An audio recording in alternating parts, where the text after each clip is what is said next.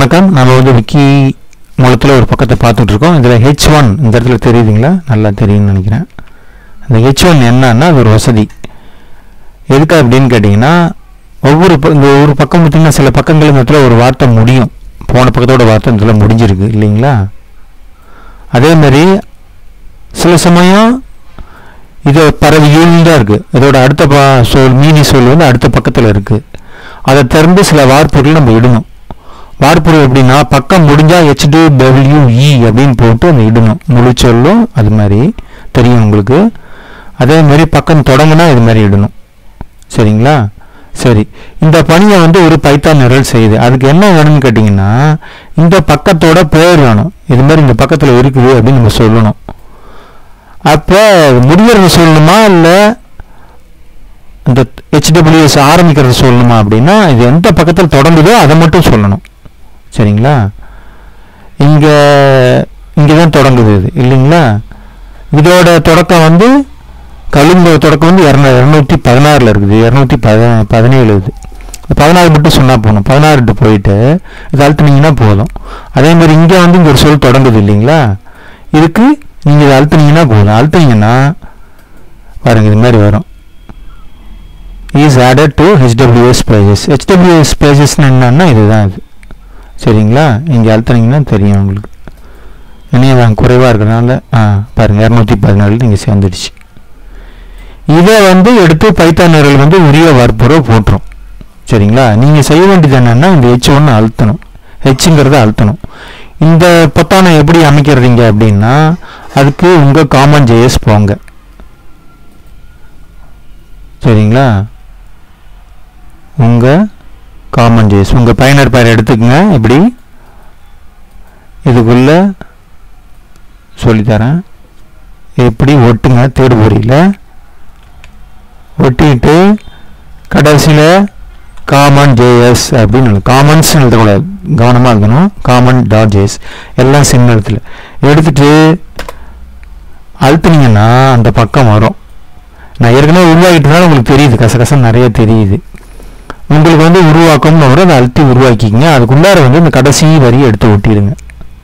பிச்சைமுத்து இரநூறு இருபது ஐம்பதுன்னு இருக்கு பார்த்தீங்கன்னா அதை எடுத்து ஒட்டிட்டீங்கன்னா ஒட்டிக்கிட்டு இங்கே சொல்லியிருக்காங்க பாருங்கள் என்ன நீங்கள் உலாவி பயன்படுத்தினீங்க அது தகுந்த மாதிரி கண்ட்ரோல் ஷிஃப்ட் ஆறு. கூகுள் குரோமாக இருந்தால் மோசிலாவாக இருந்தால் shift reload control F five அழுத்தணும். இல்லாட்டி கண்ட்ரோல் ஆறு அழுத்தணும். அழுத்துனீங்கன்னா அந்த பொத்தான் வந்து உங்களுக்கு தெரிய ஆரம்பிச்சிடும் நீங்கள் அழுத்திட்டிங்கன்னா மற்ற வேலையை வந்து அந்த வார்ப்புருகளை உரிய வார்ப்புருகள் நீங்கள் சொன்ன இல்லைங்களா இது மாதிரி. இந்த வார்ப்புருகளை முதல்ல இங்கே போட்டுரும் அந்த எந்த பக்கத்தில் எழுதுறோமோ அதில் போட்டுரும் அதோட தொடர்ச்சி அடுத்த பக்கம். ரெண்டாயிரத்தி ஜி இரநூத்தி பதினேழு. இங்கே இல்லைங்களா? பதினெட்டு வந்து அது போட்டுரும் இது திறந்து காமிக்கிறேன். கொஞ்சம் நேரம் ஆனாலும் பரவாயில்ல. திறந்து போ வந்து இது மாதிரி போட்டுருச்சு பாருங்கள் அதுவே போட்டுரும். சரி இதனால் என்ன நன்மை அப்படின்னா இதை மேலே அப்படி வச்சேன்னு வச்சுக்கோங்க. அந்த முழுமையான சொல் என்னன்னு சொல்லும் அது உங்களுக்கு. ஆ? இங்கே இது வேறு சில இடத்துலலாம் சில பலனை தருது அது. ஆ? அதை பற்றி நம்ம வந்து ஒரு பக்கத்தை வந்து தொகுக்கும் போது எல்லாத்தையும் செஞ்சு முடித்த பிறகு நீங்களா தொகுப்பு இல்லைங்களா? அப்போ தானாகவே நம்ம வந்து வேற ஒரு நிலையில் வந்து இது ரெண்டுமே இணைச்சிரும் இதுதான் சரியான முறை. ஆனால் சில பேர் வந்து என்ன பண்ணுறாங்கன்னா கடைசியில் வந்து இந்த பக்கத்தோட இறுதியில் வந்து ஒரு சின்ன கோடு போட்டு விட்டு போயிடுவாங்க. சரிங்களா? இப்போ ஒரு சின்ன கோடு. இதெல்லாம் எதுவும் எழுதாமல் இது மாதிரி ஒரு சின்ன கோடு போட்டுட்டு போயிடுவாங்க. பரவியுள் இதெல்லாம் எதுவும் போடாமல்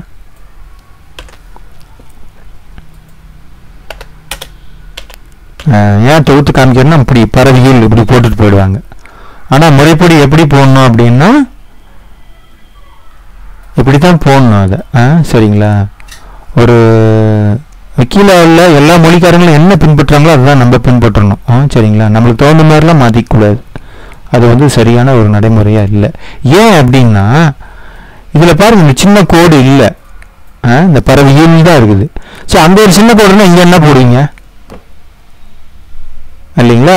நுட்பத்தின் அடிப்படையாக தான் நம்ம வந்து நம்ம செயல்களை வந்து மேன்மைப்படுத்திக்கணுமா ஒழிய நுட்பம் இல்லாத ஒரு குறுகிய காலகட்டத்தில் நம்ம வந்து இது மாதிரி குறுக்கு வழியை தேர்ந்தெடுக்கலாம். அது வந்து சரியான முறை கிடையாது. இப்படி பயன்படுத்துங்க. வணக்கம். முடிஞ்ச வரைக்கும் இதற்கான இதை அழுத்தும் போது இந்த நிழலை வந்து அது போட்டுடுற மாதிரியான முன்னெடுப்பை வந்து செஞ்சுக்கிட்டு இருக்கேன் நண்பர்கள் உதவுறாங்க. அது வரைக்கும் இதை பயன்படுத்துங்கன்னு கேட்டுக்கிறேன். வணக்கம்.